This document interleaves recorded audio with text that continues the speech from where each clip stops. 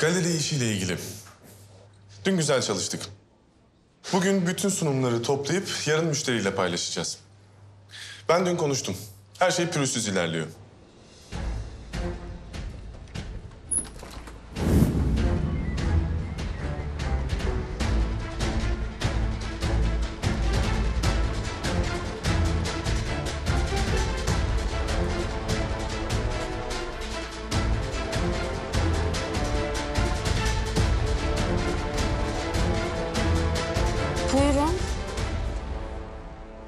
Bugün çizimleri, planlamaları, bütçe çalışmalarını finalize edebilirsek...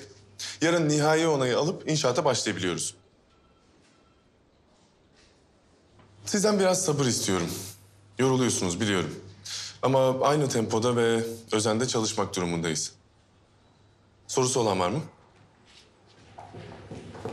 Demir Bey, Ne oldu Azmi? polisler geldi mali şubeden.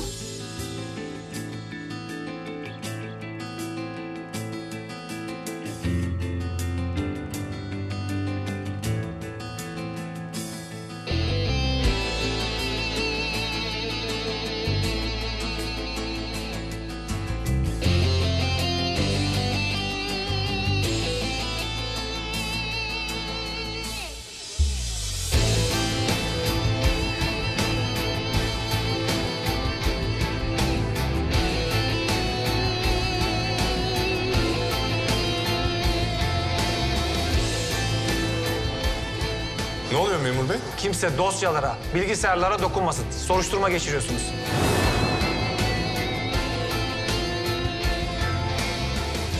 Demir? Sebebini sorabilir miyim? Demir Erendil, Burak Yangel, Ferruh Özerdim.